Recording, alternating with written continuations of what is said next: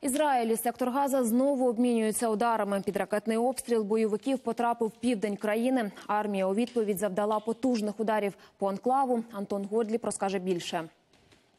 Ніч на ізраїльському півдні минула неспокійно. Сирени повітряної тривоги включалися не менше п'яти разів по всьому периметру Гази і навіть у віддалених від неї населених пунктах.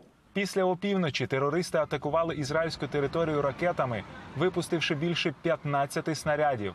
Більше половини перехопила система залізний купол. Інші впали на пустирях, не заподіявши шкоди.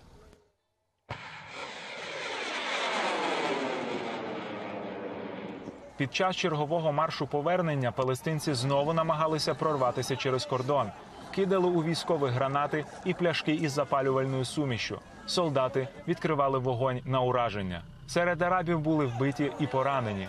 Ракетні обстріли стали реакцією на ці події. Після перших же пусків ВПС Ізраїлю підняли у повітря літаки і вертольоти, які атакували об'єкти на території анклаву. Зруйновано майстерні з виробництва ракет, тунелі і спостережні пункти терористів.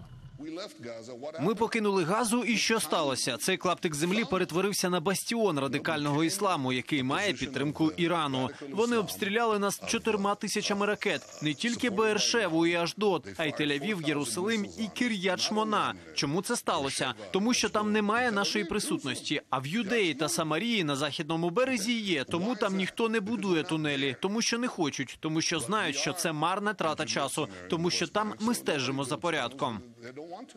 Удари у відповідь тривали напередодні всю добу.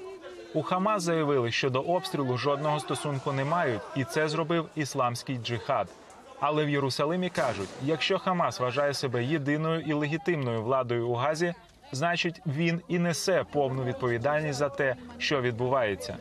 Після серії ударів ізраїльських ВПС ісламський джихад заявив, що готовий до перемир'я. За словами терористів, це сталося завдяки посередникам з Єгипту.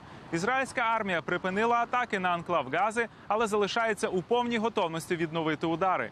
Антон Готліб, Сергій Ауслендер. Подробиці. Близькосхідне бюро телеканалу Інтер.